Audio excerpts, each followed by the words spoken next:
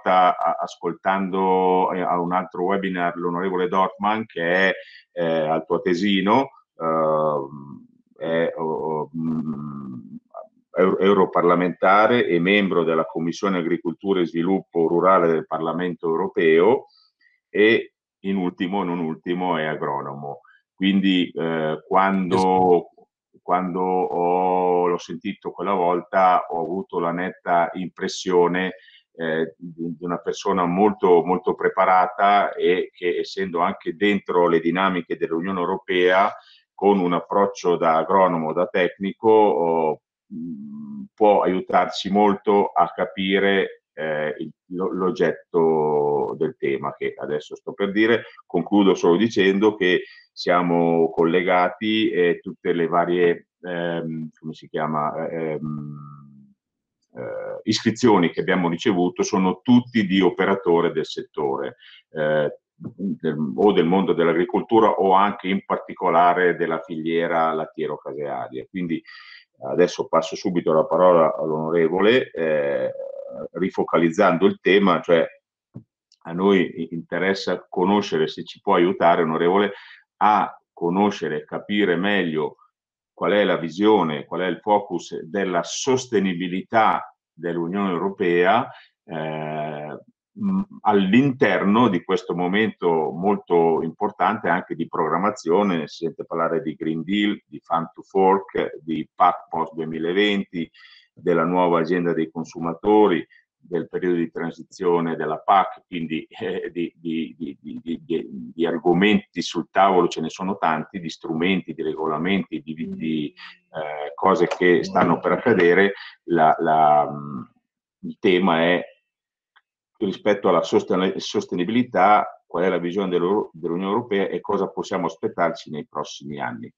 Onorevole, passo la voce, la parola a lei e è liberissimo, si intende, di, anche nel tempo che vuole. Ah, beh, il taglio è molto, è una riunione molto veloce, informale, cioè velo, non veloce, cioè molto di, dinamica, non, non, è un convegno, c'è la, la, parola, poi ci sarà la possibilità di, di avere di fare delle domande, è registrata quindi poi sarà possibile rivederla, ci sarà della documentazione. Adesso è un po' come se fossimo tutti in una sala, in una saletta, a vederci in faccia e a ragionare, a parlare di queste cose. Grazie ancora onorevole e le passo la parola. Buon, buongiorno a tutti, grazie per questa occasione. Scusate per il problema tecnico di prima, anche dopo un anno di esperienza con queste piattaforme qualche problema qualche volta c'è, però io d'altronde ritengo eh, questa tecnologia anche affascinante perché crea comunque la possibilità diciamo, di incontrarci eh, senza perdere tempo per viaggi e anche incontrarci eh, quando altrimenti non, non sarebbe possibile, eh, quindi anche del buono. Comunque um, Giampaolo Bilato mi ha detto che devo essere il più concreto possibile, um, eh, ciò nonostante devo fatto un po', fare un po' un'introduzione perché io penso che quando parliamo di sostenibilità e, e, di tutto questo argomento che è diventato forse l'argomento principe qui a, a Bruxelles, ehm, bisogna ambientarlo diciamo un po' nel, in un ambiente un po' un, un discorso un po' più generalizzato. Ehm, questa commissione, la commissione guidata da, da Ursula von der Leyen, ehm, è partita ormai un anno e mezzo fa eh, mettendo la questione della sostenibilità nel centro della propria azione politica. Proprio nel, anche nel discorso inaugurale, nel discorso di, di, di programmatico di governo che, che eh, la Presidente von der Leyen ha fatto in Parlamento, ehm, lei ha sottolineato l'importanza di questo della sostenibilità, poi che poi a Bruxelles ha preso il nome di New Green Deal o Green Deal come elemento chiave per, per, per l'azione politica nei, nei, nei, prossimi anni. E um, questo sottolineato anche dal fatto che il primo vicepresidente, eh, acting vice president eh, della Commissione europea, Franz Timmermans, ehm, è responsabile per eh, l'attuazione di questo Green Deal, eh, quindi eh, l'argomento ambientato, devo dire in questo caso vi faccio una valutazione politica, purtroppo, vedendo quello che buon Franz Timmermans sta facendo, a un livello molto alto ehm, e quindi la, eh, l'agricoltura è solo parte di questa, di questa azione politica, politica che va molto oltre e che vuole trasformare questo continente o comunque l'Unione Europea in, un, in una zona eh, sostenibile, eh, chiaramente con un obiettivo anche chiaro che nel frattempo è stato anche diciamo, ehm, trasformato in legge, che è di raggiungere una neutralità ehm, climatica entro il 2050 e eh, di ridurre le emissioni di eh, CO2 o comunque di gas serra del ehm, 55% entro il 2030. Eh, per fare questo eh, servono tutta una serie di iniziative che mh, mm, chiaramente stanno gran parte al di fuori dell'agricoltura, quindi nuove tecnologie, tecnologie, un'industria sostenibile, un traffico sostenibile, trasporto sostenibile ehm, e questo interessa anche quasi, quasi, tutti i settori della nostra economia, dal traffico alle, alla, alla, produzione di energia, quindi uscita dal carbonio, uscita dal, dal petrolio, dove il gas, il gas, il gas naturale di, rimarrà a lungo una, una, una bridge technology, quindi una tecnologia di ponte, eh, gli edifici, eh, l'industria mm, dell'acciaio, l'industria del cemento, l'industria tessile, della chimica, quindi eh, l'intera gamma diciamo, del, del, della produzione europea. E quindi eh, la Commissione subito dopo questa diciamo, posizione politica, eh, ha fatto una, una, un piano d'azione, possiamo dire, per eh, realizzare o, o questo, questo, Green Deal, eh, mettendo in piedi 50 iniziative che sono da attuare entro il 2050. E di queste 50 iniziative, tre interessano particolarmente ehm, l'agricoltura. E sono tre strategie eh, che ormai anche Giampaolo prima ha eh, nominato, almeno in parte, è la strategia Farm to Fork, quindi dal, dall'azienda alla, alla, alla, al consumatore,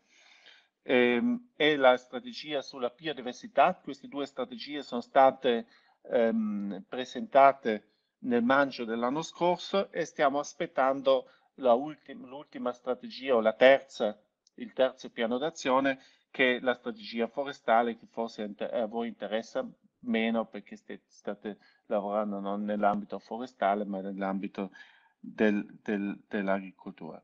Io voglio sottolineare che queste strategie sono strategie, non sono leggi sono strategie, anche se oggi qualcuno in commissione fa finta come se fossero legge. Però queste strategie sono state scritte dalla Commissione europea, quindi dal nostro governo, e non sono mai state sottoposte al legislatore. Quindi non c'è un voto del Parlamento europeo o del Consiglio ehm, su queste strategie. Ehm, noi in Parlamento faremo una, un, un, report, initiative report, quindi una nostra valutazione sulla strategia, come lo ha fatto già il Consiglio. E in Parlamento io sono uno dei due relatori perché lo facciamo insieme a Commissione Agricoltura e Commissione Ambiente, io sono responsabile per la parte agricola, possiamo dire così, eh, la mia collega Ania Hasekamp è responsabile per, per il settore ambiente. Ehm,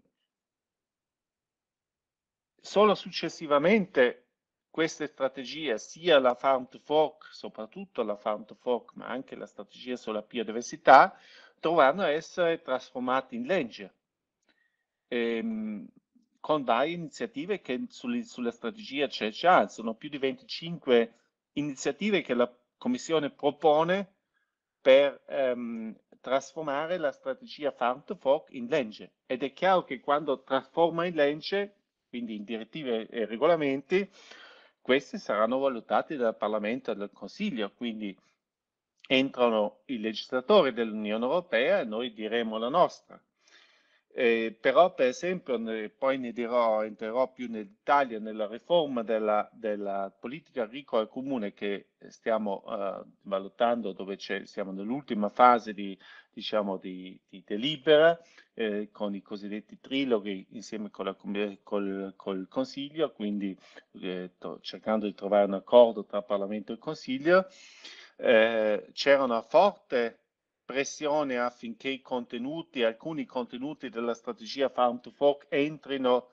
nella riforma della PAC, dove noi, anche noi come Partito Popolare Europeo, abbiamo detto di no perché non si può trasformare in legge qualcosa o non si può citare o fare riferimento in una legge e la PAC legge qualcosa che non è legge. Quindi prima di, di, di, di, che queste, tutte queste iniziative che sono descritte nella Farm to Fork diventino veramente legge sul territorio, devono essere trasformate in legge. Questo è importante perché sennò oggi a volte si fa finta come se questa fosse tutta roba, diciamo, um, accordata tra i colegislatori. Bene, um, quindi io farei una prima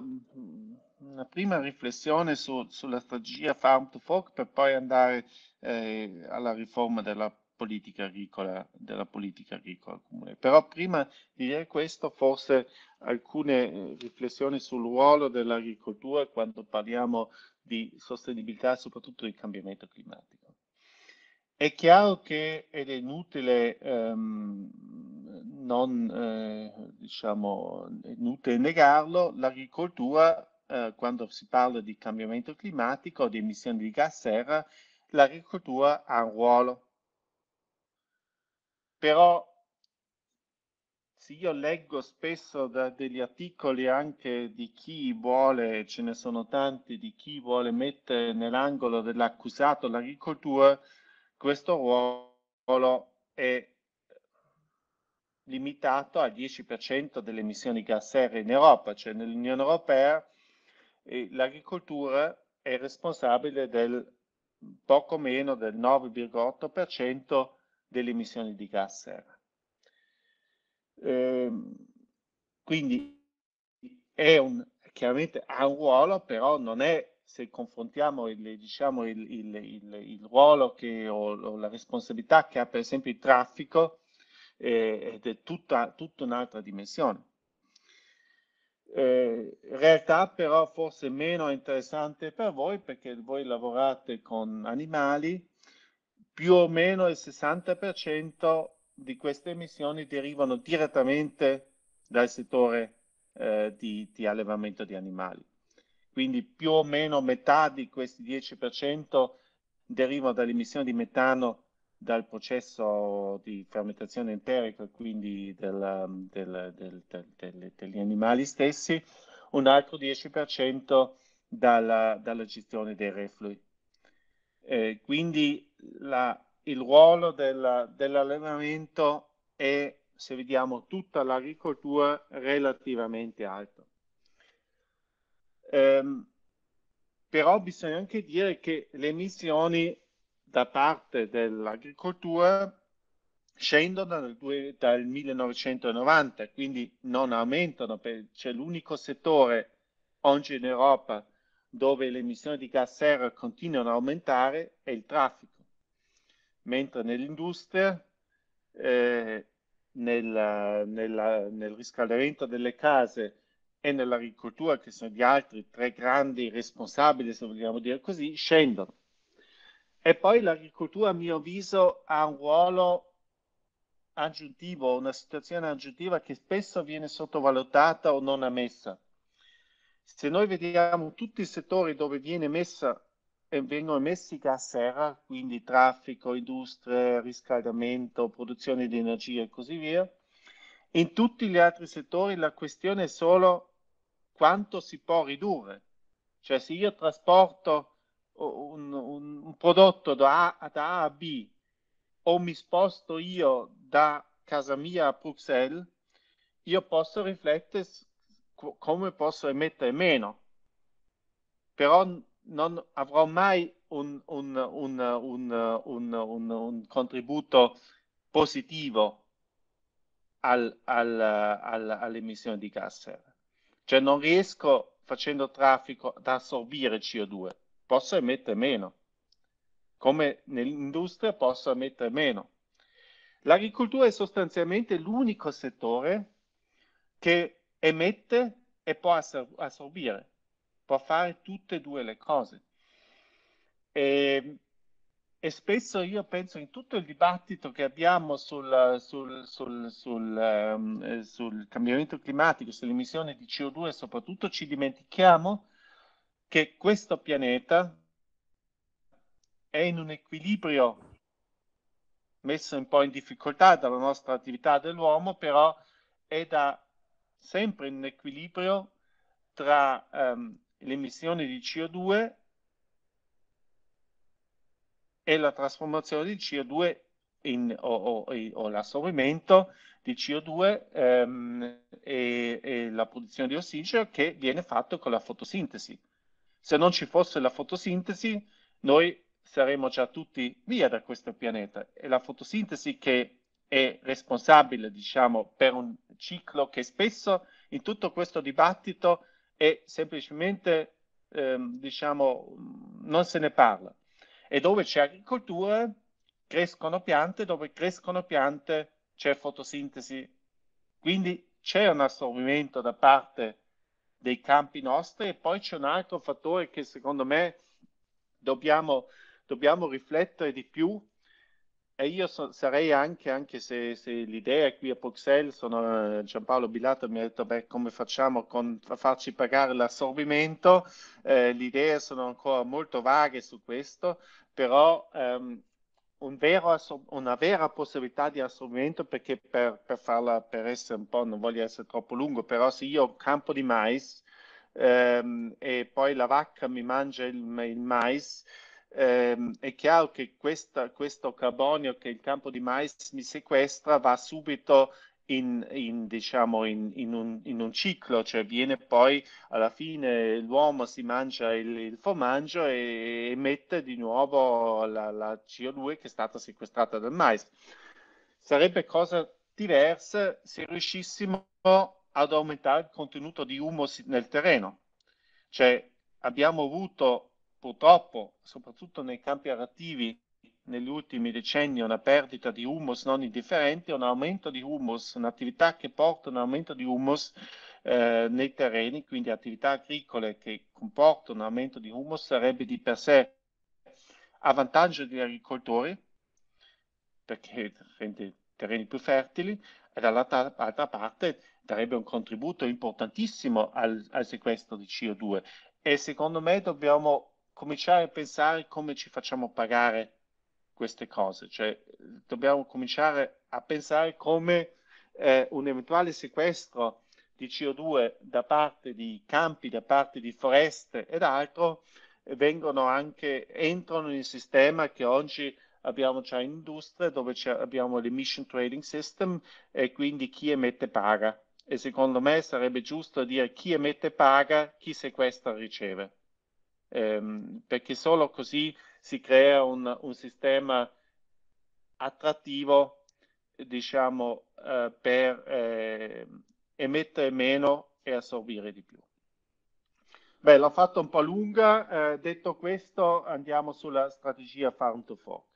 La strategia Farm to Fork secondo me è di per sé un'idea buona, eh, almeno da me condivisa, cioè l'idea di dire ehm, un'Unione Europea che da decenni, da più di 60 anni, quasi 70 anni adesso, eh, tra, due anni, tra, tra due anni nel, eh, nel, 2022 avremo 70 anni dell'inizio della politica agricola comune dell'Unione Europea che è iniziata nel 62. E, ehm, forse è utile eh, vedere l'attività politica di azione dell'Unione Europea non solo in un ambito agricolo, ma in un ambito più largo, cioè guardando alla catena alimentare dal, dall'agricoltore fino al consumatore finale.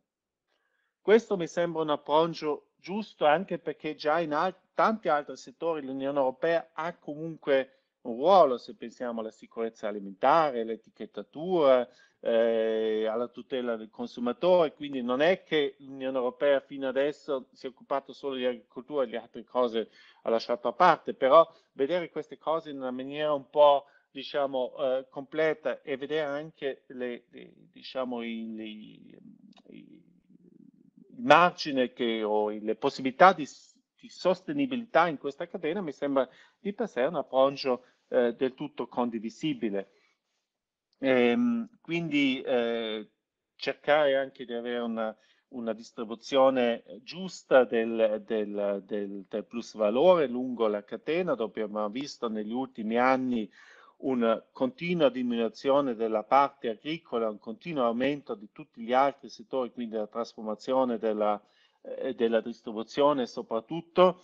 ehm, anche eh, pensando a un'alimentazione più, non solo più sostenibile, ma più sana, più equilibrata. Anche qui eh, non do dobbiamo comunque ammettere che eh, la percentuale di persone obese eh, in Europa aumenta e oggi, eh,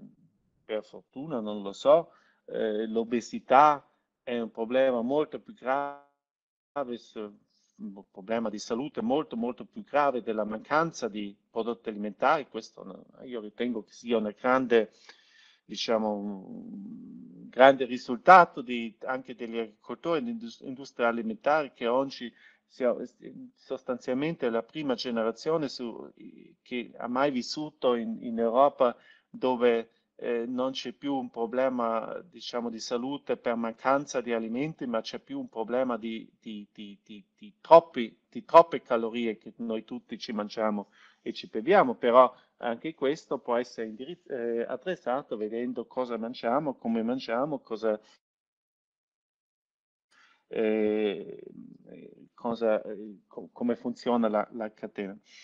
c'è un crescente settore, un crescente diciamo, market share del biologico, c'è la questione del, del, del locale, dell'indicazione di origine, la gente vuole sapere da dove deriva il prodotto che mangia,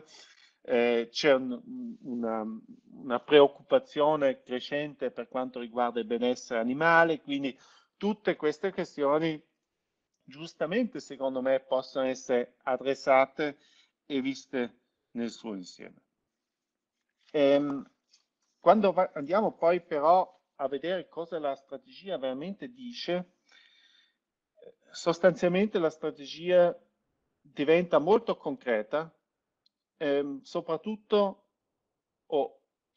su questi argomenti che voi probabilmente conoscete perché ormai eh, sono sufficientemente sui media, cioè la, la strategia dice che dobbiamo diminuire del 50% l'uso di pesticidi, prodotti antiparassitari fino al 2030, dobbiamo diminuire la perdita di fertilizzanti eh, dai terreni che vanno a finire nelle falde del 50% e dobbiamo diminuire l'utilizzo di, di, fertilizzanti minerali del 20% entro, in totale entro il, ehm, eh, il, il, 2030, dobbiamo diminuire del 50% l'uso di antibiotici, portare eh, eh, il biologico al 25% della superficie, eh, diminuire eh, la, la, come si dice, il food waste, perdita, il, la, lo, spreco, lo, spreco, alimentare, mi sembra che sia. Scusate, a volte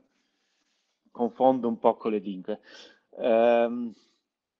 e del 50%. Se vediamo tutto questo, tutti questi sono indicatori farm, cioè la diminuzione di pesticidi, la diminuzione di, di fertilizzanti, la diminuzione di antibiotici, la percentuale di, di, di, terreno destinato al biologico, sono tutti indicatori farm, non sono indicatori FOC. Quindi nonostante il, a mio avviso, e questa è la critica che io faccio alla strategia, nonostante il giusto tentativo di vediamo la catena nel, il, alimentare nel suo insieme, poi alla fine se si legge la strategia la, rimane comunque molto ancorata nel settore dell'agricoltura. E rimane un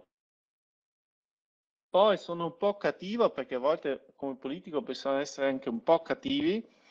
rimane un po' questa strana idea che qui qualcuno fa una strategia per controllare la politica agricola da fuori, cioè per togliere la competenza per la gestione della politica agricola all'ambiente prettamente agricolo e portarlo verso altri settori, verso altre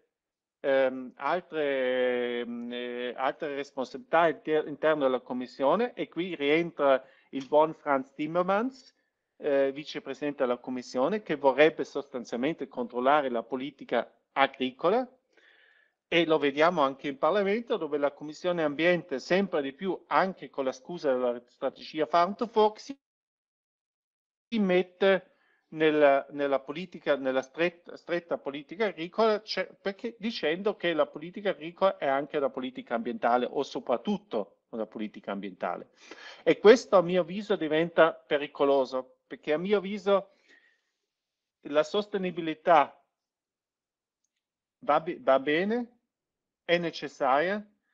però la sostenibilità, se vediamo l'azienda agricola e l'attività agricola, che è alla base anche della sicurezza alimentare e del, della disponibilità di prodotti alimentari in Europa, va bene solo se troviamo un, un, un giusto bilancio tra una, un, un giusto equilibrio tra sostenibilità in termini ambientali e sostenibilità economica. Cioè, non dobbiamo rischiare con tutto questo la sostenibilità economica dell'attività agricola.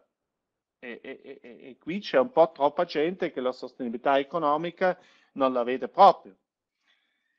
E a mio avviso c'è un altro, un altro fatto. Sarebbe stato facile o sarebbe facile a mio avviso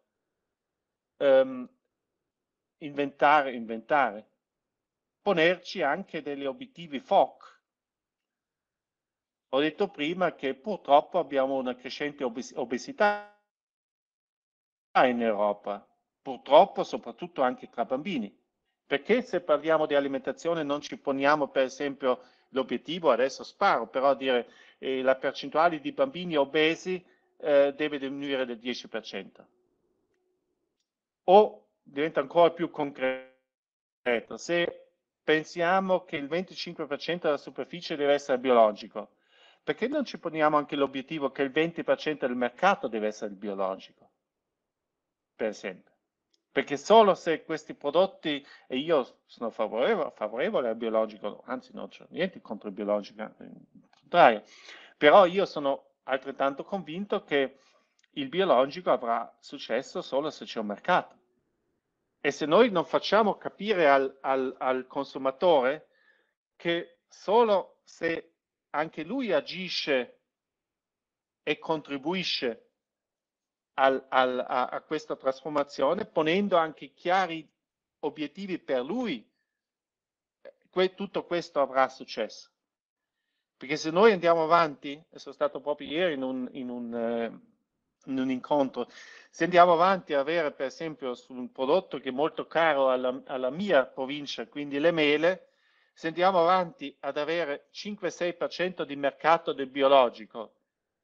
e vogliamo 25% della superficie, questo diventa un disastro prima di tutto per chi fa oggi biologico, perché ci sarebbe un, una sovrapproduzione di biologico che, non, che, che non, il mercato non assorbe più e voi sapete meglio di me cosa succede se un mercato non assorbe più un prodotto, scende il prezzo. Quindi eh, qui mi, mi, aspetterei diciamo, una, una visione un po' più eh, diciamo, orientata al mercato, anche perché io penso che noi dobbiamo, se parliamo di una catena alimentare sostenibile, dobbiamo sottolineare la responsabilità del consumatore. Il consumatore oggi,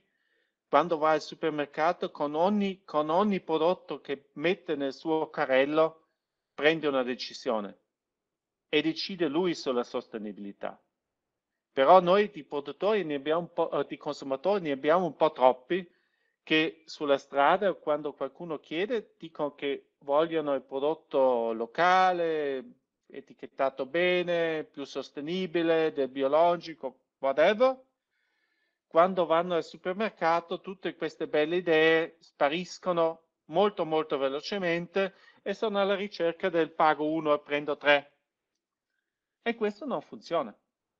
Io penso che oggi una, una alimentazione equilibrata, sana, ehm, il supermercato offre tantissime eh, possibilità. E noi dobbiamo farla finita con quello che qui sono un po' duro con i miei colleghi dei Verdi, questo continuo attacco a dire che i prodotti alimentari in Europa non sono sani, scusate il termine, siamo tra di noi, è una palla. Noi abbiamo un livello di sicurezza alimentare altissimo e tra l'altro esportiamo i nostri prodotti anche ehm, perché è così. Il problema è che tanti consumatori non si nutriscono in maniera molto sana perché scelgono diete eh, squilibrate e che, e che noi politicamente dobbiamo riflettere come adressare questo e come portare il consumatore sul, sul, sulla, sul, su scelte più, più, più, equilibrate mi sembra più che giusto. Poi magari nella parte, eh, nell'ultima parte ne dirò eh, due o tre cose su questo. Eh, una o due riflessioni ancora sulla farm to fork, poi vado veramente sul, sulla PAC. Eh, io penso anche che questi obiettivi, che forse per una strategia vanno anche bene, perché la strategia deve essere forse anche un po' superficiale, però quando andiamo sul concreto, se parliamo di diminuzione di antibiotici, che per esempio a voi interessa tanto perché lavorate nel settore della zootecnia, o alla diminuzione di, di prodotti fitoparassitari sanitari. Bisogna anche vedere dove si è arrivati oggi, qual è il punto di partenza. E noi se andiamo per esempio, l'esempio classico degli antibiotici, noi abbiamo paesi in Europa, stati membri, che negli ultimi anni hanno avuto una drammatica diminuzione dell'uso di antibiotici. E noi abbiamo ancora oggi, anche se nessuno lo ammette, però abbiamo ancora oggi un uso in alcuni stati membri e su alcuni settori che adesso non è il vostro settore, non sono le vacche, mi rendo conto, sono altri, eh, altre produzioni di carni, eh, abbiamo ancora un uso propedeutico di massa di prodotti antibiotici e che questa la dobbiamo finire, mi sembra che siamo tutti d'accordo. Però dobbiamo vedere a che punto siamo arrivati, perché siamo arrivati a un punto dove diciamo l'antibiotico viene utilizzato veramente per quello che serve, che dobbiamo diminuire. Se una vacca si ammala, dobbiamo dire, beh, dobbiamo diminuire del 50%, quindi su due che si ammala facciamo morire una, o la mastite lasciamo andare avanti su una, trattiamo solo l'altra. È ridicolo. Quindi è più utile dire, vediamo gli stati membri che hanno avuto successo, vediamo come hanno fatto.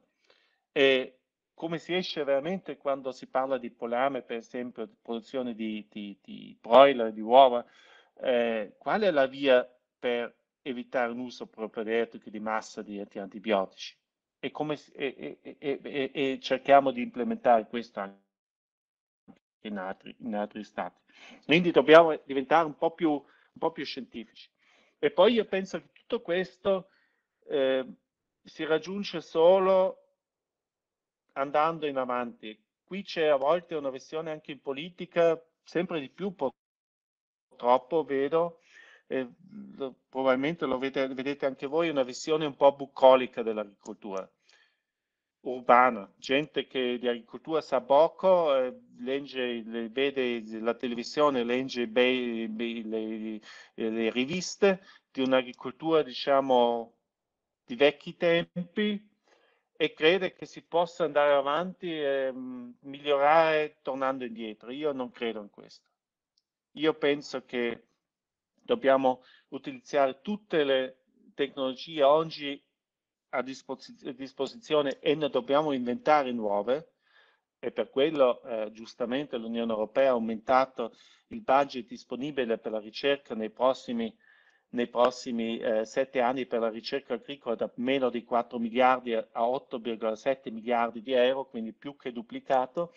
eh, per trovare nuove, nuove, molecole quando parliamo di prodotti antiparassitari, di trovare nuovi macchinari per andare verso un'agricoltura eh, più sostenibile e più di precisione, quindi eh, sensori, tecnologia digitale, eh, tecnologia anche eh, satellitare. Eh, dobbiamo pensare cosa facciamo con New Breeding Techniques, che facciamo con CRISPR-Cas eh, non possiamo in, in, Europa semplicemente dire, beh, facciamo finta di niente. È una tecnologia che quest'anno ha preso il premio Nobel, quindi perfettamente accettata in medicina. Eh, cominciamo a riflettere se, se, se nuove tecnologie di breeding eh, ci permettono di avere piante più resistenti che hanno bisogno di meno trattamenti o piante che forse hanno bisogno di meno, di meno fertilizzanti. Quindi dobbiamo fare tutto questo con una visione, diciamo, che guarda, ehm, che crede nella tecnologia e crede nel, nel, nel, nel futuro. Ehm, io pensa, penso che se, se, questo è l'approccio, questa strategia può anche dare un contributo positivo ehm, perché io sono, se vediamo, lo vedo dall'altra parte del, della medaglia, io sono anche convinto che, che è, è, vero che oggi il, il, diciamo, il, il, comportamento alimentare che abbiamo oggi non è sempre eh, sostenibile nella lunga durata, quindi una riflessione eh, su, su, cosa mangiamo, su come mangiamo e su come portiamo valore nella catena alimentare. È un ragion ragionamento giusto che alla fine aiuta anche l'agricoltore, perché io penso che se aumenta eh, diciamo il, il, come dire, eh, la disponibilità della gente ad investire in alimentazione, questo può essere o deve essere per forza eh, positivo per tutti, per tutti i settori della catena. Più soldi sono nella catena, più soldi sono da distribuire. Io spesso come, come le macchine, no? E, e se, gente, se, tutta la gente vuole comprare Mercedes piuttosto che Peugeot, questo non è un problema per, la macchina, per, l'industria delle macchine. Più soldi entrano nell'industria, meglio è. Quindi se la gente è disponibile, se riusciamo a creare una situazione dove la gente è disponibile a spendere di più per l'alimentazione, per un'alimentazione anche più, più, più equilibrata, più, eh, più sana, anche più ben venga però eh, non, non, può essere una, una, situazione che poi eh, colpisce solo, solo unilateralmente l'agricoltura. Beh, detto questo, un'ultima, poi diventa anche troppo lungo, mi rendo conto, un'ultima riflessione, cosa succede concretamente eh, nella, nella, nella prima, prima, applicazione, nel primo momento dove queste idee entrano nella politica concreta ed è la riforma della PAC. Eh, viviamo in, oh, da, da, poche settimane, da due settimane è iniziato un periodo transitorio della PAC, voi sapete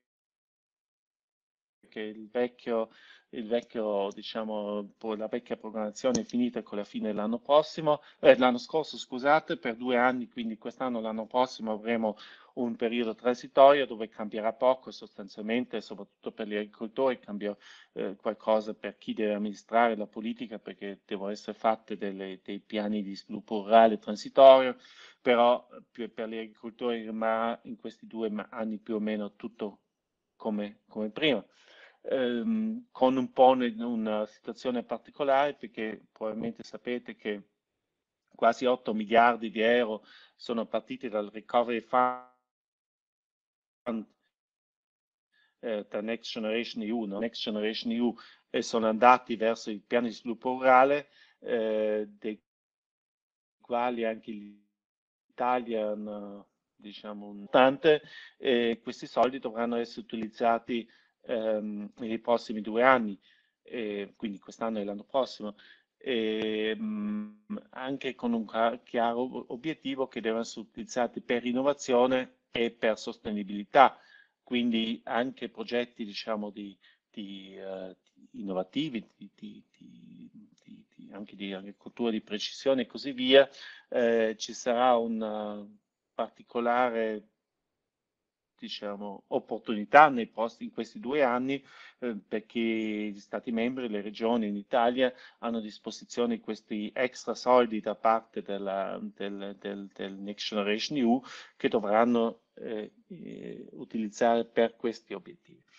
Però per il resto la vera, la vera riforma inizierà nel, speriamo perché non, ancora non abbiamo i regolamenti approvati definitivamente, col primo col primo um, gennaio del 2023,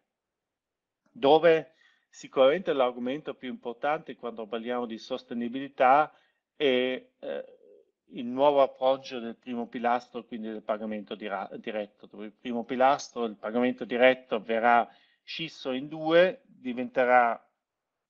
eh, una prima parte che è un premio base e una seconda parte, i cosiddetti eco schemes, e in questi eco schemes, mh, mm, questi eco schemes serviranno per eh, favorire um, la sostenibilità delle attività agricole, quindi diventano quasi o molto simili ai programmi agroambientali che conosciamo oggi dal secondo pilastro del piano di sviluppo rurale della, della PAC. Um, il Parlamento si è espresso una diciamo, una percentuale del 30%, 30 del primo pilastro che va in questa direzione, il Consiglio dice 20%, quindi però sarà tra il 20 e il 30%, quindi una porzione importante dei fondi della, del primo pilastro, che sono la gran parte del, della politica agricola comune, che vanno, andranno in questa direzione. Quindi se,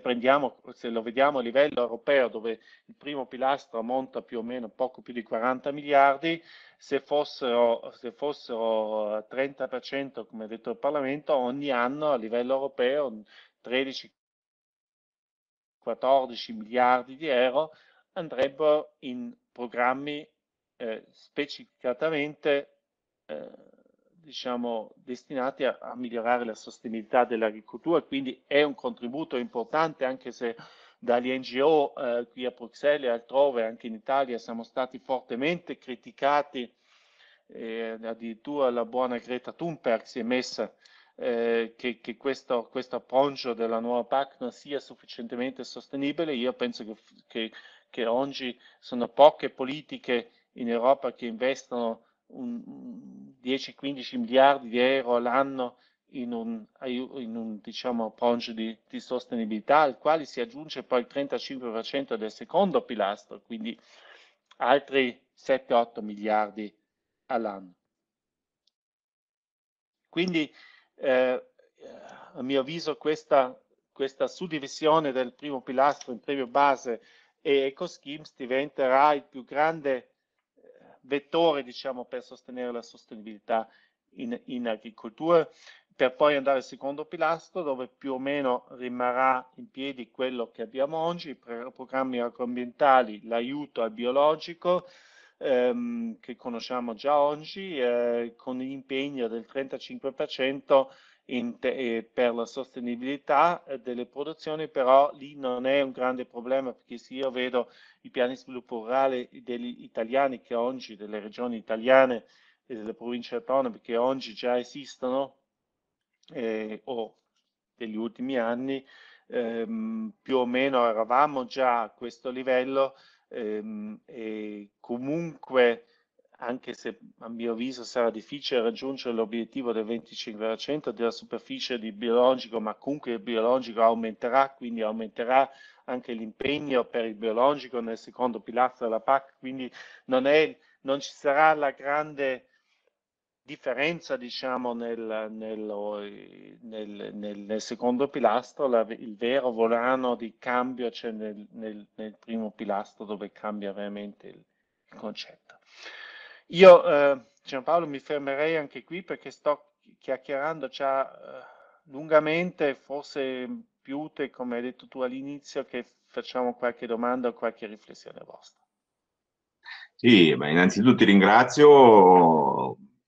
sei stato, come anche l'altra volta, molto concreto e chiaro. Um, io uh, propongo, uh, piattaf come piattaforma non abbiamo limiti di orario, quindi l'unico limite è, è, un po' il tuo uh, Herbert, se, poi dopo è ora di pranzo, quindi eh, abbiamo solo un limite no, che ci poniamo noi, eh, come dal punto di vista del tempo. Io mh, mm, mh, mm, direi, proporrei, proprio per una questione di ordine, eh, io ti faccio due domande specifiche che, come ti ho accennato, sono già venute fuori in questi giorni che abbiamo preparato la riunione. Poi eh, eh, proporrei a chi vuole intervenire di scrivere il proprio nome nella chat e poi di fare però la domanda a voce, perché io non voglio fare quello che legge le domande degli altri. Quindi uno nella chat dice vorrei fare una domanda e poi eh, interviene, però con, ecco, eh, do io la parola per una questione semplice di ordine, di, di priorità e di ordine. Quindi io ripeto, adesso faccio due domande, ma chi vuole intervenire o fare domande lo può scrivere e volentieri. Eh, le due domande sono molto concrete e sono una proprio nell'agenda de, nuova agenda dei consumatori a pagina 8 in inglese, io non sono un grande anglofilo, però c'è scritto chiaramente che la Commissione vuole dare la possibilità attraverso il, il labeling, attraverso le etichette dei food, del food, degli alimenti, la possibilità anche di eh, fare una valutazione ambientale. Siamo in piena uh, discussione sul semaforo rosso o verde dal punto di vista, diciamo, dietetico, che non mi interessa adesso. Adesso la, mia domanda è che idea hai tu o che, che cosa bolle in pentola rispetto a quella che è l'etichettatura ambientale su, sul food, su, sugli alimenti? La, la, prima domanda. La seconda domanda ti chiederei, ma proprio questa per una mia, mi è stata chiesto, ma anche per una mia eh, insomma faccio non elasticità mentale, il, il rapporto della eh, Next Generation EU, EU con il PS, IPSR 21-22. Cioè, mi sembra di aver capito che è come un, un sovra, un, un'aggiunta di, di, risorse, se ho capito bene. Però, ripeto, se ci chiarisci il rapporto fra questa next generation così. E poi se, ah scusa, una terza, ma proprio per chiarezza anche come cittadino, del discorso di questo benedetto recovery fund, cioè se il recovery c'entra con l'agricoltura o no. Ecco, queste tre domande sintetiche. Ripeto, se nel frattempo qualcuno scrive, volentieri dopo possiamo... Prego. Sì, sul, sull'etichettatura io penso che siano sostanzialmente tre cose che girano in questo momento. Uno è questa della, della valutazione ambientale tramite l'etichettatura, che forse è quella meno concreta di tutti, dove mh, almeno io, non ho visto nessuna proposta concreta cosa si vorrebbe fa, uh, fare se questo diventa un'etichettatura di un carbon o, o l'idea di fare un carbon footprint o, o perché, perché valutazione ambientale può essere, possono essere tante cose, cioè ehm, può essere l'emissione di CO2, ma possono essere tante altre cose. C'era una forte pressione della presidenza tedesca eh, nell'Unione Europea per l'etichettatura del benessere animale. Questo parte anche, diciamo, dal, dal, dal fatto che in, Germania, cioè all'interno della Germania c'è già una iniziativa non obbligatoria, però diciamo di accordo tra le associazioni agricole e, eh, e, il, e la, la, distribuzione per questa etichettatura di benessere animale. E, ehm, e la ministra Kirchner, che è la presidenza del, dell'Agrifish, quindi del Consiglio l'agricoltura e ha spinto molto in questa direzione con poco entusiasmo degli altri, di, tanti, qualche altro Stato membro. Ehm, nel, tutto quanto si è poi per adesso fermato in un documento del Consiglio dove il Consiglio ha invitato la Commissione a riflettere sull'argomento e proporre qualcosa, però non c'è niente di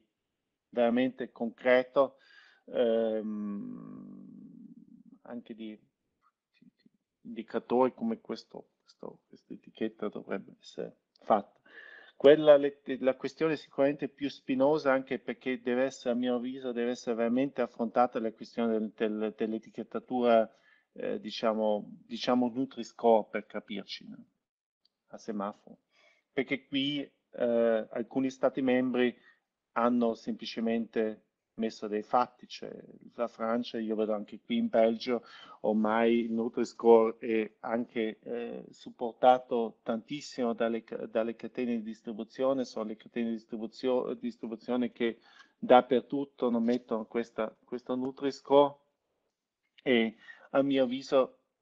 c'è bisogno di un accordo europeo, cioè dobbiamo decidere se lasciamo andare avanti gli Stati membri, ognuno fa quello che vuole, o se troviamo un approccio europeo. Io devo dire, mi rendo conto che l'etichettatura, a volte deve essere semplice perché ehm, il più grande problema nella nutrizione sbagliata o squilibrata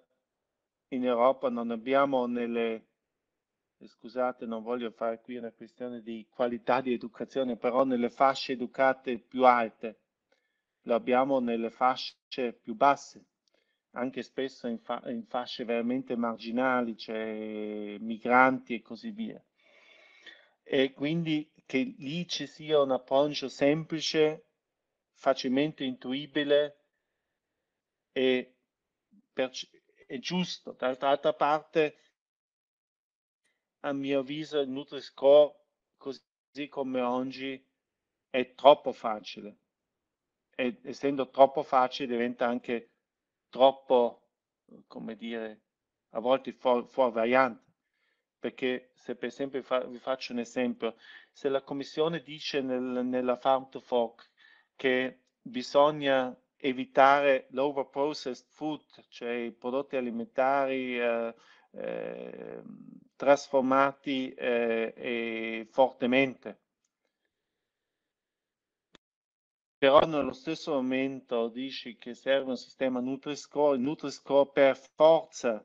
favorisce l'overprocess. Perché cosa fa l'industria? L'industria sa benissimo come portare un prodotto da rosso verso arancione verso verde e lo fa con un processo di trasformazione di, di, di processing. Quindi e se io vedo qui, eh, faccio sempre l'esempio qui di, di, di, nel, nel, supermercato che sta sotto casa mia, se io vedo il gelato eh, che è ehm, sull'arancione e rosso, il gelato sotto nel freezer,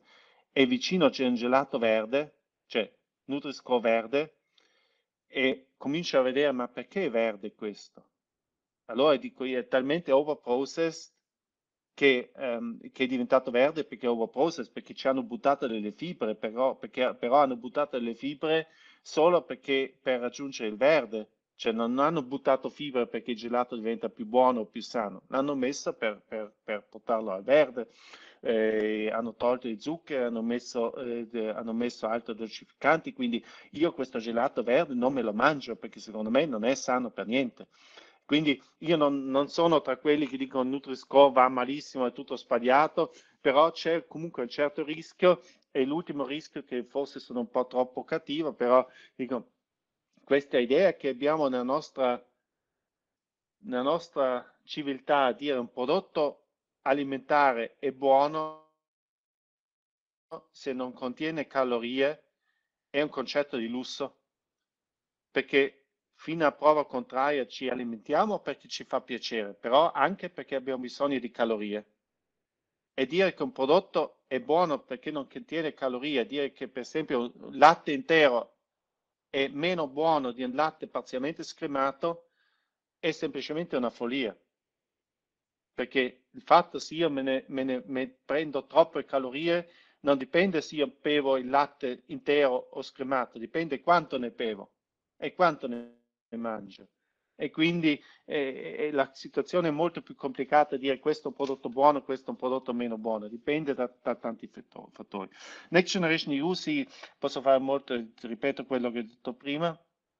nella fase finale, nel famoso uh, vertice del, di metà luglio, di, di, quello di quattro giorni, eh, alla fine si è deciso che ho quasi 8 miliardi eh, del, del New Generation EU e quindi di questi 750 miliardi vanno eh, nei piani di sviluppo rurale, questo anche perché nella prima proposta di, diciamo, di, per il bilancio per la politica agricola comune eh, c'era un taglio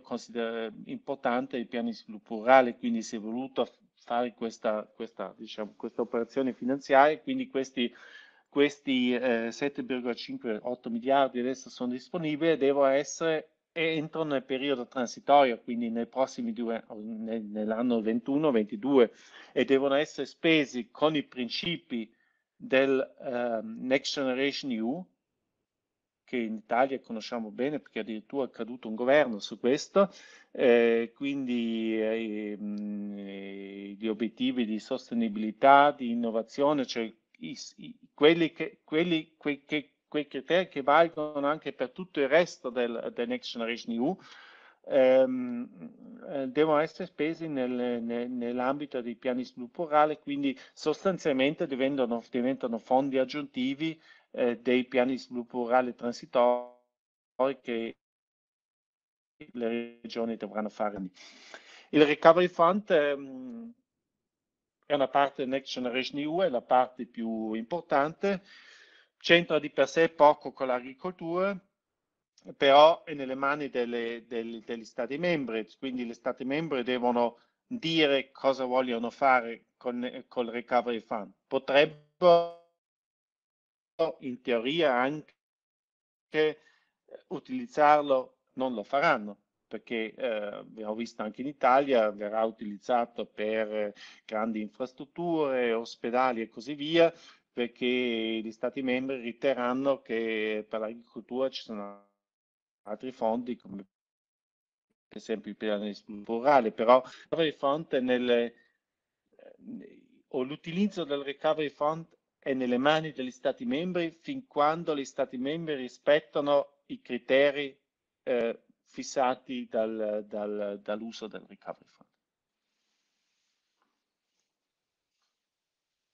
Ok, benissimo, chiaro. Allora, nel frattempo non sono arrivate domande, e, però oh, da, buon tec- da, buon tecnico scientifico, essendo, se facciamo una correlazione fra la, la, costanza degli iscritti che eh, sono rimasti collegati,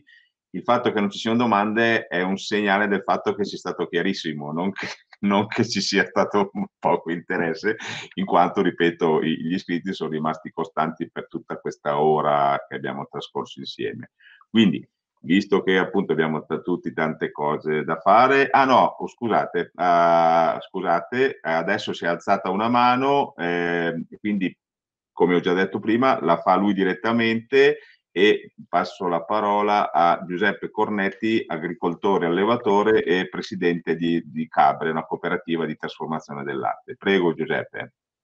Sì, grazie a tutti, buongiorno, sarò tempestivo. Vorrei richiamare un argomento che lei eh, prima aveva sviluppato ehm, eh, per quanto riguarda il, sequestro del carbonio, dove ha fatto delle sottolineature dicendo che eh, sarebbe utile eh, mh, esporre dei pagamenti a chi eh, emette eh, che debba quindi pagare e riconoscere invece chi è, intende, è in grado di poter sequestrare il carbonio. Parlava quindi poi dell'humus, io andrei oltre. Noi abbiamo dei suoli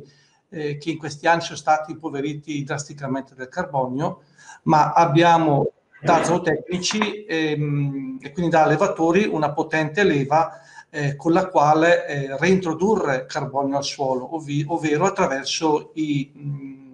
i reflui palabili Quindi, eh, posto che noi abbiamo questa risorsa che può, che può essere utilizzata e che eh, porta in sé una grande quantità di carbonio, non solo da renderlo eh, disponibile in forma unica che eh, immediatamente poi verrebbe, eh, per chi eh, sa di petologia, eh, mh, utilizzata dalle culture in atto, ma eh, produrre un effetto recalcitrante al carbonio in maniera tale che rimanga nel tempo tesorizzato nel suolo. Ritengo che il letame possa essere premiato da qui nei prossimi anni e, e ritengo che possa essere una buona pratica da ehm, caldeggiare, quindi favorire anche nell'ambito agricolo una diversa produzione di reflui, andando in questa direzione, però eh, premiando chi fa questa attività e che per certi aspetti oggi è stata forse messa nell'orbita delle agroenergie sulle quali non mi vorrei prolungare, però direi se possiamo favorire questa pratica ritengo che sia eh, utile eh, sia al, all'ambiente ma anche agli allevatori che eh, possono metterla in atto. Grazie. Eh, scusa Herbert perché nel frattempo mm, forse mi era sfuggito, mi chiedo scusa, ho visto che anche eh, Giuseppe Bertoni ha alzato la mano per fare una domanda e quindi gli cedo volentieri la parola. Giuseppe se vuoi parlare. Grazie, grazie sia a te, eh, dottor Bilato, che al dottor Dorfman, eh, che saluto perché è un nostro laureato qui di Piacenza. E eh, volevo intanto, eh, diciamo, complimentarmi eh, con lui perché eh, ha fatto anche un preambolo molto importante e è proprio su questi aspetti che vorrei brevemente eh, richiamarlo, cioè al fatto che eh, da un lato noi abbiamo bisogno di eh, tenere presente che nella sostenibilità non ci sono soltanto gli aspetti economici, ecologici e eh, etici, ma c'è anche eh, l'aspetto salute e nutrizione dell'uomo e all'interno di questo eh, bisogna sempre ricordare che una quota, eh, e lui ne ha parlato bene, eh, diciamo correttamente per, con riferimento all'obesità, però eh, va, eh, diciamo così, eh, mantenuto alto il livello della importanza degli prodotti di origine animale all'interno di una dieta eh, corretta, naturalmente nelle eh, giuste eh, proporzioni eh, per non eccedere. Il secondo aspetto eh, importante che si collega a varie cose che lui ha detto è quello della produttività eh, è chiaro che nel momento in cui si tende a privilegiare l'aspetto biologico eh, e a um, in un certo senso penalizzare eh, gli aspetti tecnologici, è chiaro che la produttività può esserne fortemente eh, ridotta. Eh, ma perché la, la, produttività è importante? Non soltanto al nostro interno, ma anche perché se noi riduciamo eccessivamente la produttività, eh, aumenta la quota di ciò che dobbiamo acquistare all'esterno della comunità europea e questo in particolare nei paesi meno sviluppati eh, dove eh, la bassa efficienza produttiva porta più facilmente ad aumentare il rischio di eh, deforestazione eh, di quanto non sia il vantaggio economico che possiamo dare a loro. Ecco, eh, in questo ambito, cioè vorrei che la comunità europea nel suo obiettivo certamente giustissimo di un Green Deal tenga conto eh, in maniera dovuta anche di questi aspetti, cioè da un lato l'importanza che hanno i prodotti di origine animale per la salute dell'uomo nella giusta misura e dall'altro che eh, è opportuno non penalizzare più di tanto la eh, produttività legata alle tecnologie per eh, non pregiudicare da un lato le produzioni europee, ma dall'altro anche aggravare il rischio dell'emissione eh, eh, di CO2 e non eh, soltanto diminuirlo. Grazie comunque eh, a tutti. Eh, grazie a te, professor Bertoni. Eh, Herbert, se sei d'accordo, io eh, nel frattempo ho alzato la mano anche Elisabetta Quaini, allevatrice eh, di vacche da latte del Cremonese, molto brava, tra l'altro, e chiedo a lei se vuole intervenire direttamente. Eccomi, eh, io volevo sapere allora, io sono molto preoccupata, nel senso che ormai in tutte le trasmissioni eh, televisive, anche ieri sera sono rimasta quasi fino all'una alzata, troviamo giornalisti, troviamo riprese di allevamenti eh, cosiddetti intensivi, di cui io sono una fiera rappresentante, eh, però troviamo delle notizie distorte e spesso anche volutamente eh, accentuate negli aspetti negativi. Quindi eh, direi che c'è quasi una campagna contro la nostra attività e da allevatore sono seriamente preoccupata perché gli sforzi per comunicare un'immagine positiva l'agricoltura non ne sta facendo granché, non abbiamo investito risorse in comunicazione e vediamo, eh, cioè facciamo fatica a vedere una, uno sviluppo positivo di questo benedetto farm to fork. Peraltro io sono convinta, e i dati ce lo dimostrano, che il consumatore destina, direi, eh, gran parte del suo reddito per strumentazioni elettroniche o, a, o moda o altre cose, mentre l'alimentazione diciamo che è quasi eh, residuale, quindi si vuole spendere sempre meno, magari andare al ristorante, prima potevamo andare, siamo disposti a pagare di più,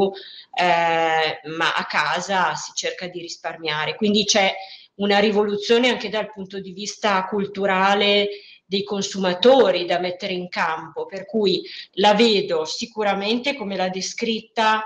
una cosa positiva perché la filiera ha bisogno che il consumatore apprezzi i prodotti, ma io ho sempre il sospetto che in realtà noi veniamo da anni in cui la politica ha deciso che il cibo doveva costare poco.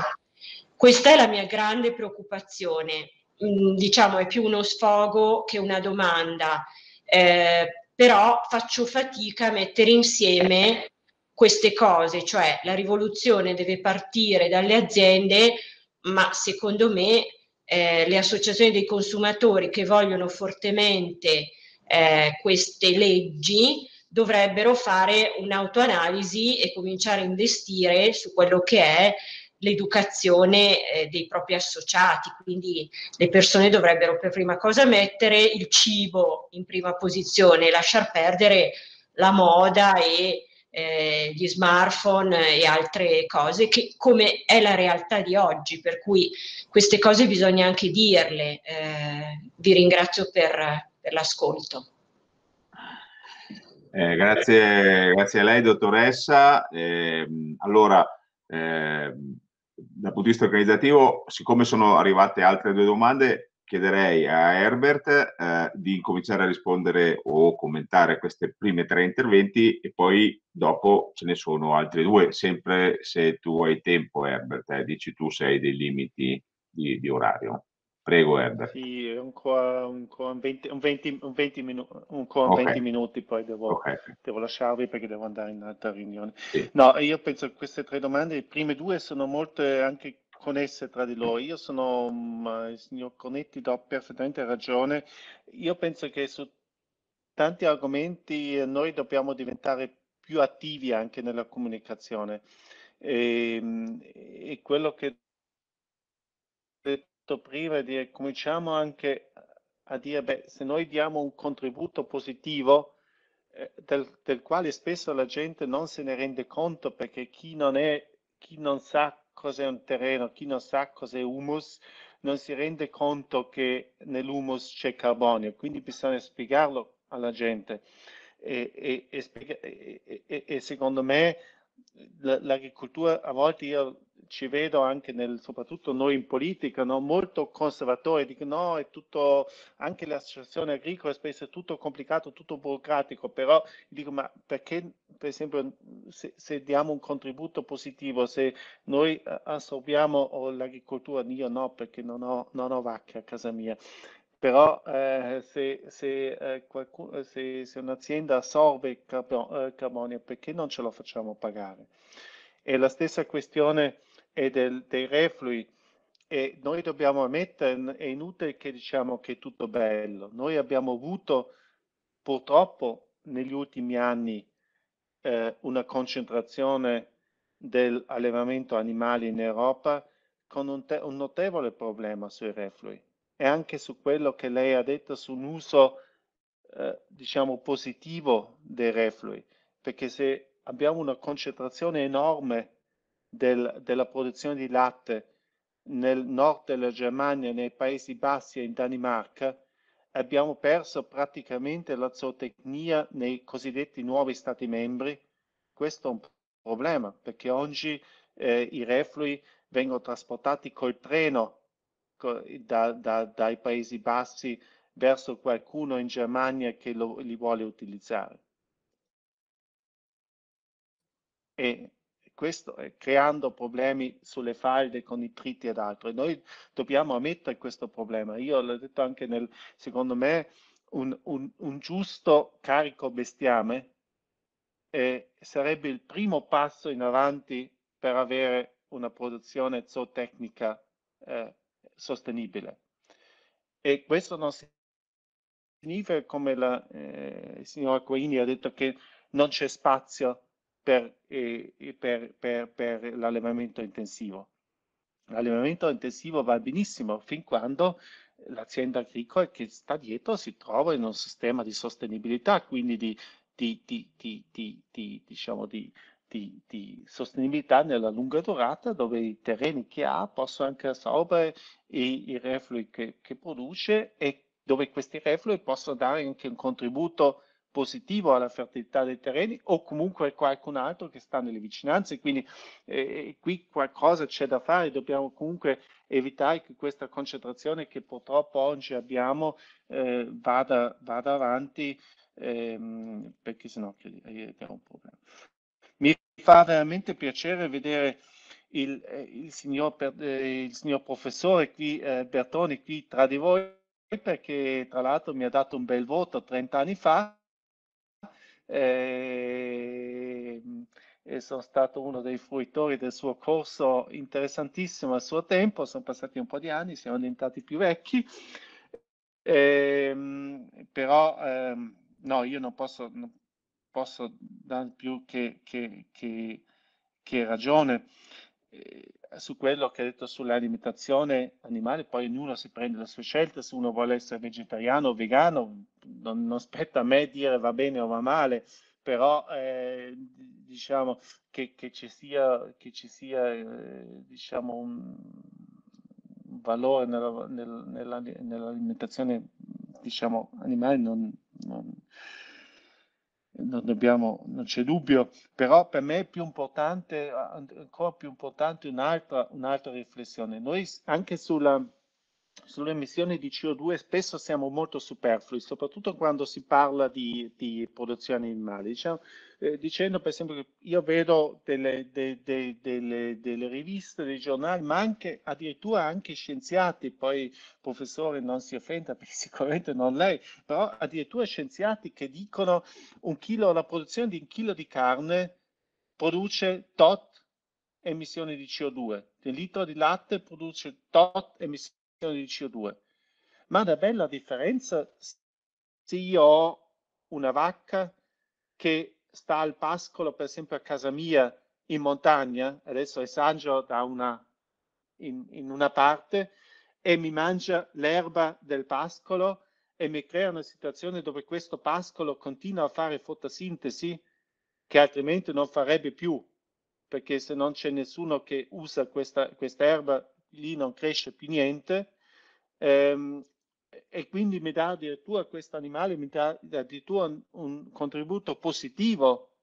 eh, per quanto riguarda le emissioni CO2 o un'altra vacca che è, sta in stalla e alimentata tutto l'anno con soia del Pasile. Sono due cose completamente diverse, quindi bisogna anche un po' vedere cosa, come viene fatta questa, questa, questa, questo, questo allevamento e, cosa, e, e, quindi eh, le cose sono un po' più complicate di quanto spesso si, fa, si, si dice. Poi la produttività, beh, sicuramente. Eh, io penso che qui eh, questa, questo dilemma della pandemia Covid ha poco di buono. Eh, purtroppo però una cosa buona sicuramente la gente si è resa conto per la prima volta dopo decenni che la disponibilità di prodotti alimentari non è logica. Cioè la mia, la mia generazione, almeno io, ho visto per la prima volta in vita mia scaffali vuoti. E, ehm, e questo ha un po', diciamo, secondo me, non, la gente non, non lo dimenticherà molto velocemente. Cioè ha visto che la disponibilità in un periodo difficile, ehm, la disponibilità di prodotti alimentari, anche la velocità con la quale il sistema alimentare europeo ha reagito a questa sfida e comunque ha dimostrato che, che la sicurezza alimentare, la, la, disponibilità alimentare è importante e che oggi abbiamo un sistema a disposizione che in una situazione di crisi come quella della pandemia comunque garantisce che la gente ha da mangiare. Eh, però noi abbiamo anche una responsabilità a livello mondiale, cioè noi siamo i più grandi esportatori di prodotti alimentari del mondo e se i prodotti alimentari europei non sono a disposizione in altre parti del mondo, in altre parti del mondo si soffre di fame. Quindi eh, noi possiamo sì dire, beh, produciamo solo per noi, però sarebbe di poca responsabilità rispetto, diciamo, a una, a una visione anche un po' più larga del, del, del, del sistema, sistema alimentare. Sì, l'ultima, domanda è forse il dilemma più profondo, più profondo nel quale ci troviamo, lo vediamo soprattutto anche politica, io direi da, da anni, forse meno in Italia, più nel, nella parte nordica dell'Europa, siamo sotto continuo attacco, ehm, o l'agricoltura è sotto continuo attacco di alcuni partiti politici, che permettetemi una valutazione politica, per, per fortuna in Italia non esistono, e, ehm, e soprattutto delle, da, da, parte di NGO e da parte di NGO, di organizzazioni che vivono dalla critica. Cioè, per essere chiaro, io non ho niente contro una NGO, va benissimo, però eh, Greenpeace, per prenderne una, non vive dal messaggio positivo, vive dal messaggio negativo. C'è chi finanzia Greenpeace vuole sentire il problema, non vuole sentire che le cose vanno bene. E se, se sul, sul, giornalino di Greenpeace o di Foodwatch o di altri, sulla prima pagina c'è scritto che va tutto bene, tutto bello, non, la gente che è membro di queste associazioni non paga più,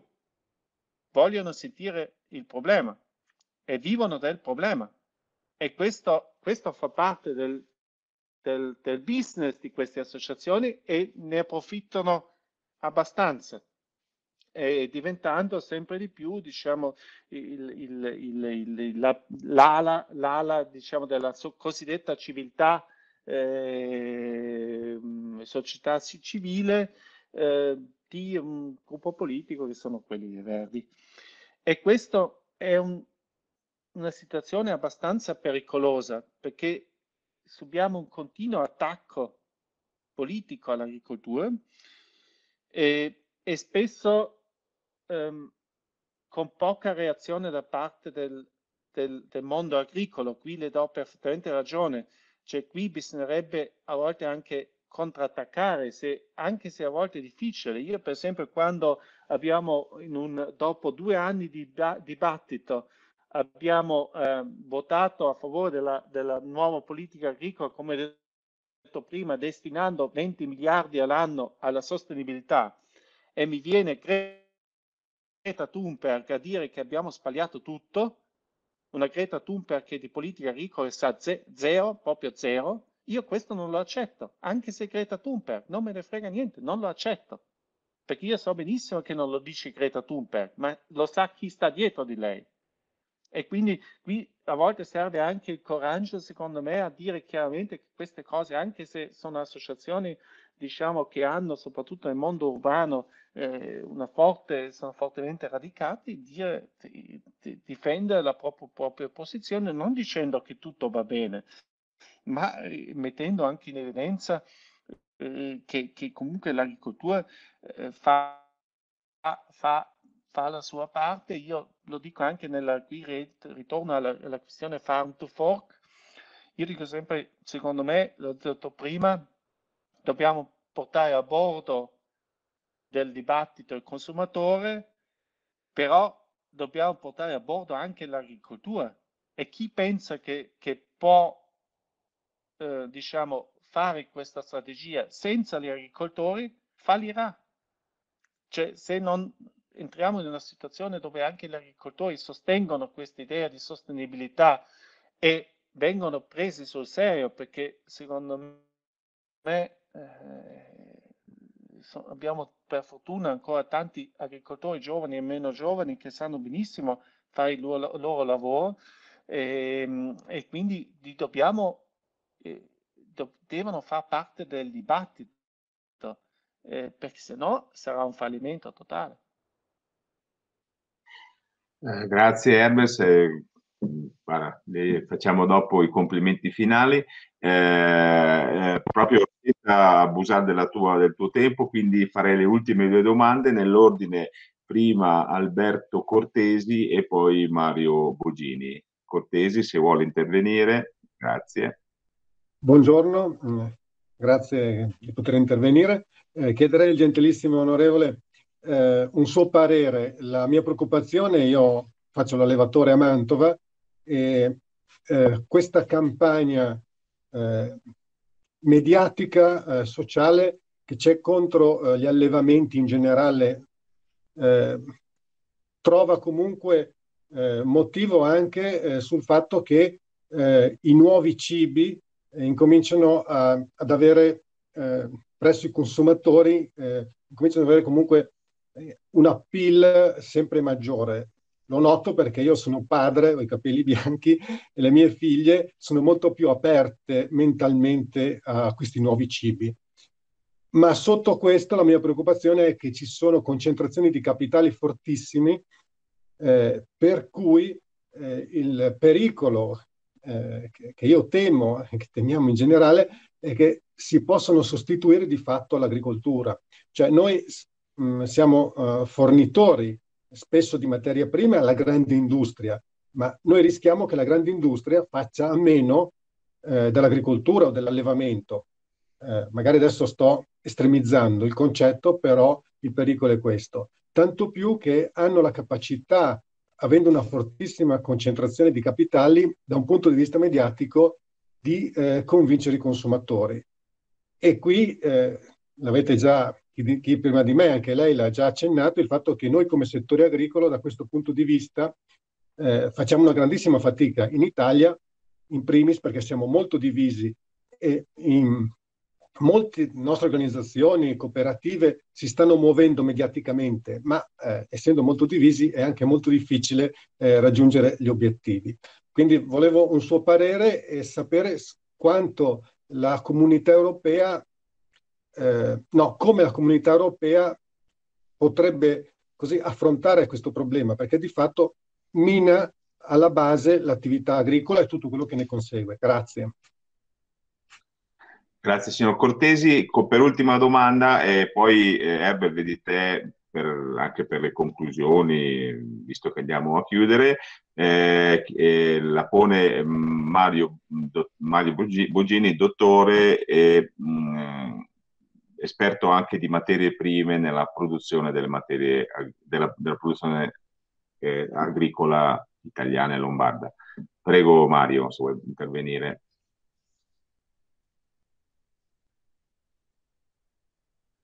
Microfono, il microfono Mario.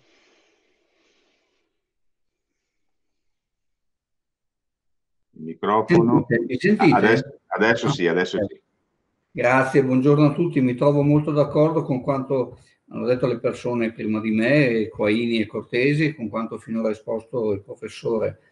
Io vi voglio solo segnalare questo, la campagna mediatica è verissimo, è negativa, ed è vero. La signora Quaini ha usato una, una, una frase che mi ha molto colpito, il cibo a buon mercato. Ecco, volevo rispondere a questo, ma a tutti. Il cibo a buon mercato è finito perché i mercati delle materie prime e delle commodities internazionali, non nazionali, sono fuori controllo. Perché? Perché è stata una massa immane di finanza da parte dei fondi di investimento e stanno insieme ai potenti acquisti della Cina sbalestrando il mercato. Passatemi il termine sbalestrando il mercato, vuol dire che avremo un mercato molto più caro, per cui per un po' di mesi tutti voi produttori dovete soffrire, meno i cerealisti. Poi con questi mercati molto più alti forse ci sarà quello spazio, quel, quel margine, quel gap piccolo di guadagno in più che permetterà di agire su qualcosa nella sostenibilità. Quindi mh, voglio chiudere dicendovi preparatevi a mercati più cari, ma mi auguro che poi alla fine ne abbiate un, un ritorno, anche se ci vorrà un po' di tempo. Grazie.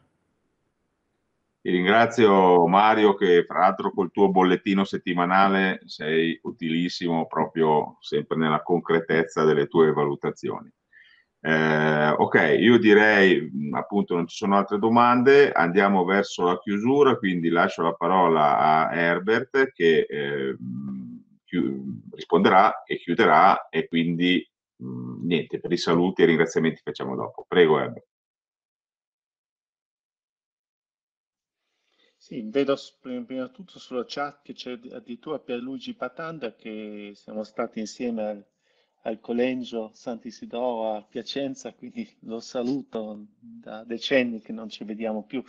quindi è l'occasione buona di queste, questo, queste tecnologie anche per rivedere o rincontrare persone.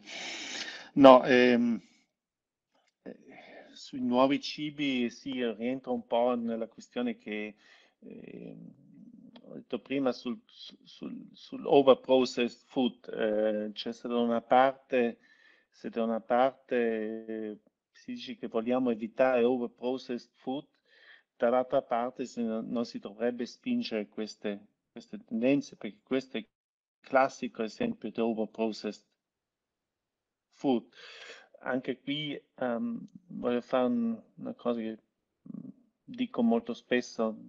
ritornando ancora nella questione del cambiamento climatico e delle emissioni di CO2, ehm, la, la, produzione animale eh, nel suo insieme utilizza una risorsa importantissima in Europa e nel mondo ed è il prato stabile e i pascoli. E, ehm, tutti i prati stabili, stabili pascoli sarebbero inutili se non ci fossero animali. Quindi uscirebbero dalla, dalla produzione di, di, alimenti fin quando noi uomini non cominciamo a mangiare erba, però non avendo, non avendo un, apparato digitale che eh, diciamo trae grande vantaggio sarà difficile. Quindi ehm, se, se, escono prati, prati stabili o se, se uscissero prati stabili dal, dall'alimentazione o tras eh, venissero trasformati in, in ter terreni arati, quest questi, questo per, per, il cambiamento climatico sarebbe un disastro. Quindi si può dire sì che eh, sotto un certo punto di vista è giusto che una, un'alimentazione vegetariana, vegana, eh, comporta meno, meno, emissioni di CO2, però solo fino a un certo punto, perché se io la bistecca, la bistecca me la faccio con i piselli, eh, i piselli devono crescere da qualche parte. e crescono sul terreno arato, non crescono, ma crescono sul prato stabile. Quindi questo ancora per dire cose sono un po' più complicate di quanto spesso nell'opinione pubblica vengono, diciamo, presentate. E, ehm, eh, io non vedo sinceramente nel breve periodo una,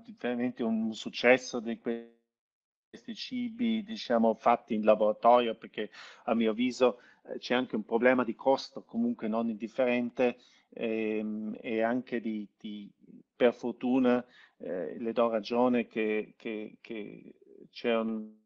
un approccio diverso delle giovani generazioni, anch'io ho figli che eh, diciamo in questa età, però mh, sì, fino a un certo punto direi. Perché io penso anche, mh, questo eh, ho dimenticato di dire prima,